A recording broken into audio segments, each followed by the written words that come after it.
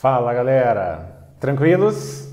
Voltamos, última semana do PET volume 4, semana 4. Hoje nós vamos começar estudando as plantas, galera. Nós temos uma aula aí com algumas coisas a serem corrigidas, então dá uma olhadinha na teoria, senão isso pode te levar a sérios problemas. Esse material didático que foi selecionado pelo PET tem erros teóricos gravíssimos. Um deles eu vou ressaltar.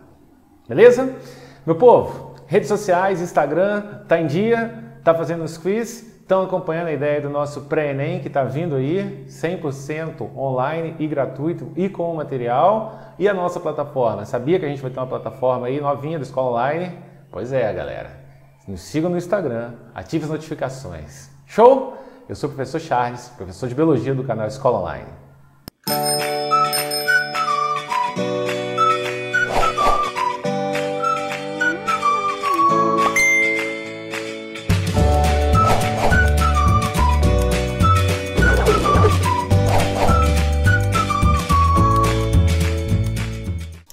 Olha só, como eu disse a vocês, a gente precisa fazer uma revisão para introduzir, mas olha, coisa tranquila e rápida. Então olha lá.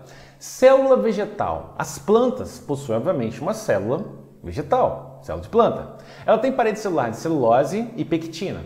Celulose é mais preponderante, por isso a gente geralmente fala só da celulose, que é um carboidrato. Presença de plastos. Dentre os plastos ou plastídeos, os cloroplastos. Beleza? Presença do vacúolo celular, que é uma organela que tem líquido e algumas substâncias dissolvidas em seu interior, e ausência de centríolo em grande parte das plantas. Os centríolos são organelas que participam da divisão celular. Beleza? Então vamos dar uma olhada aqui.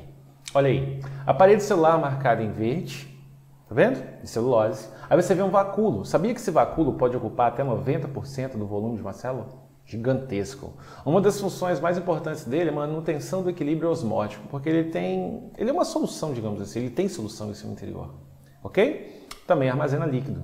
E cloroplasto. Nesse caso, então, é uma célula que faz fotossíntese. O cloroplasto é um dos plastos. Show de bola? Pessoal, além disso, ciclo de vida haplodiplobiôntico. Todas as plantas têm esse ciclo de vida. Aí, ó. A planta, no dado momento, é esporófito. Acompanha comigo pela seta. Deixa eu te mostrar aqui, ó, a seta, tá vendo? Esporófito significa planta que produz esporos. Aqui ela produziu esporo. Ó. Ela é, o esporófito é uma planta 2N. Sofre ou produz esporos por meiose, então diminui a metade. Então esporo é célula N. Esse esporo, por mitose, dá origem a um outro estágio de vida da planta. É o gametófito. Planta que produz gametas, gametófito. Esse gametófito é haploide. N. Então ele produz gametas por mitose, gameta masculino, gameta feminino.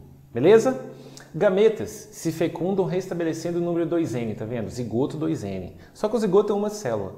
Então esse uma célula vai sofrer várias mitoses e vai dar origem novamente à planta diploide, que é o esporófito. Esse ciclo de vida é comum a todas elas. Aqui eu trago para vocês um ciclo de vida com mais informações, para te auxiliar caso seja necessário. Então, tudo o que eu disse no slide anterior está escrito nesse aí. Mas, além disso, eu quero que você observe que eu coloquei uma linha em amarelo. Dessa linha para cima, a reprodução é assexuada. Tá vendo? Esporófito produzindo esporo de forma assexuada. É uma reprodução, pessoal. Já o gametófito produz gametas. Já é reprodução sexuada. Essa é uma das razões que a gente diz que o ciclo de plantas é alternância de gerações. Alterna uma geração com reprodução assexuada e outra com geração com reprodução sexuada. Uma geração com reprodução assexuada, que é diploide, que é o esporófito, e uma geração com reprodução sexuada, que é haploide, que é o gametófito. Beleza? Aí a gente já passa para a sequência evolutiva. As plantas vieram das algas, e aí nós temos um problema nesse material, que é o seguinte: Antigamente, as algas macroscópicas, as grandonas, as chamadas talófitas, elas eram classificadas como plantas, mas há muito tempo já não é. Portanto, planta é planta, alga é alga. Beleza? Planta é planta, alga é alga. As algas verdes, por exemplo, elas têm representantes tanto unicelulares quanto multi ou pluricelulares. A gente acredita que alguma dessas algas verdes deram origem às plantas, seguindo essa ordem que eu apresento para vocês de uma forma bem simplificada, tá vendo? As briófitas, depois vem as pteridófitas, vem a gímino e as angiospermas. Uma sequência. Nesse momento eu já te mostro meus nomes das plantas. ou o nome dos filos, mas mais comumente a gente chama de divisões ou grupos de plantas. Bacana? Olha aí, algas verdes. Agora, por que, que a gente acredita que elas são os ancestrais? Tá aí, ó. As algas verdes, ou clorófitas, elas são os prováveis ancestrais das plantas, por quê? Porque elas têm parede celular assim como as plantas, a mesma constituição, celulose e pectina, pigmentos fotossintéticos, clorofilas A e B e os carotenoides, assim como as plantas, e a reserva energética delas é o carboidrato amido, assim como as plantas. Aí as outras algas, as outras algas são bem misturadas, essas reservas, constituição de parede, pigmentos fotossintéticos, bem misturado mesmo. Já as algas verdes não, elas já, digamos, fecha com as plantas. Beleza? E aí, pessoal, dado que você sabe que alga é alga, planta é planta, eu vou só fazer um adendo. Na classificação de reinos, as algas fazem parte do antigo reino protista, hoje pro, protoctista. Ok? Então agora a gente vai ver ancestralidade entre plantas, ancestralidade comum, as algas, mas de uma outra forma. Olha aí.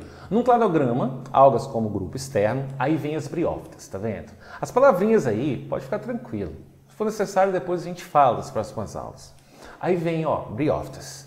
Aí há ancestrais que vão levar um novo grupo, que são as pteridófitas. Mas agora tem as primeiras plantas que têm vasos condutores de seiva, também chamadas traqueófitas, beleza?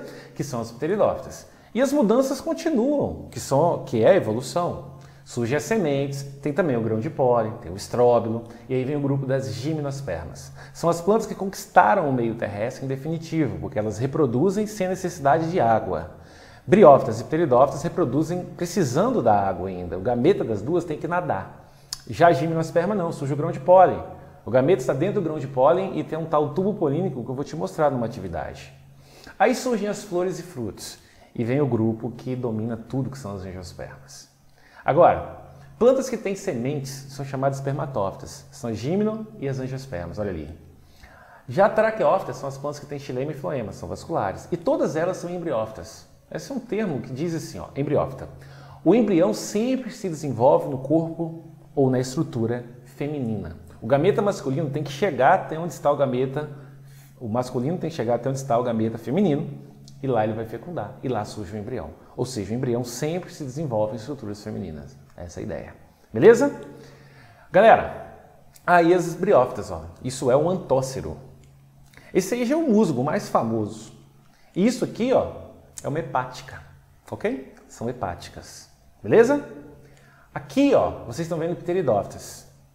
Do lado direito superior, deixa eu te mostrar aqui com a seta, ó. Isso aqui, ó, é uma samambaia. Isso aqui, ó, é uma venca. Esse é o famoso chifre de viado. Isso aqui é a cavalinha. São exemplos de pteridófitas. Eu poderia ter colocado outras, mas coloquei quatro que são mais conhecidas. Olha as gimnospermas. Isso aí, pessoal, é uma sequoia. Árvores gigantescas, lindíssimas, exuberantes, maravilhosas. Olha essa aí. Essa é a araucária angustifolha. Pinheiro do Paraná ou simplesmente araucária. Isso aí, Charles? Ah, isso aí são os estróbilos que elas possuem.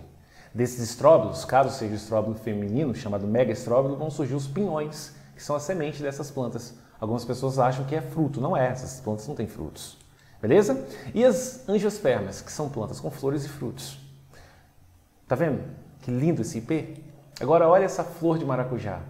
Daqui a pouco as pétalas caem, as outras estruturas também caem, o ovário hipertrofia e dá origem ao fruto de maracujá. Beleza? Com base nisso, pessoal, nesse rápido aí apanhado teórico, a gente vai para as questões. De modo geral, nos vegetais, a transição da vida aquática para a vida terrestre foi acompanhada pelo aparecimento de... De que, Charles? Olha isso aí. Aqui eu vou te mostrar. Esse aqui é um grão de pólen. Ele chegou nesse local. Quando ele chega nesse local, olha o que vai acontecer. Tá vendo uma coisinha aqui surgindo? É o tubo polínico. Dentro do tubo polínico vai descer o gameta masculino, ó, tá vendo?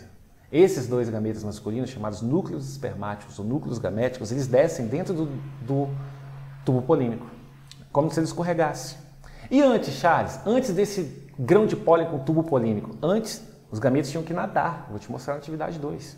Então, pessoal, o tubo polínico, não havendo mais necessidade da água para fecundação. Por quê, Charles? Essa atividade que vem à frente deveria ter vindo antes. Mas olha só. Todas as estruturas abaixo são indispensáveis para a sobrevivência dos vegetais no meio terrestre, exceto, exceto o quê? Anterosóides livres natantes, que é a letra B. Pessoal, nas briófitas e pteridófitas, esse é o gameta. Esse é o gameta, ó. Anterosóide. Ele saiu daqui, ó, dessa região que é chamada anterídeo. E ele tem que alcançar a osfera, que está aqui dentro, ó, que é o gameta feminino. Dentro de que, Charles? Dentro da estrutura chamada arquegônio. Era assim nas briófitas e pteridófitas e deixa de ser assim nas gimnospermas e angiospermas, porque o tubo polínico ele vai levar o gameta masculino até o feminino. Certinho? Letra B, de bola. Terceira, a sinálise afirmativa errada. Quando você lê o seu material, que eu tenho certeza que você lê, você vai ficar meio em dúvida. Mas eu vou te falar uma coisa. Quando ele fala que a vida vegetal surgiu na água há 3 bilhões de anos, ele se ampara no exercício que ele coloca, mas está errado. Não é considerado. As plantas surgiram há 500 milhões de anos. 500 milhões de anos surgem as plantas. A vida vegetal ele considera como alga. Então, na realidade, há duas respostas nessa questão. A letra A está errada, sim, e a letra C. As pteridófitas alcançaram num grau completo a conquista do meio terrestre. Não, quem conquista definitivo são as gimnospermas, porque elas têm tubo polínico e tem a semente, que protege esse embrião também. Beleza? 4. As modificações abaixo são diretamente relacionadas à conquista do ambiente terrestre pelas plantas, ao longo de sua história evolutiva, exceto só uma, pessoal. Só uma. O que, vocês marcaram? Olha aí.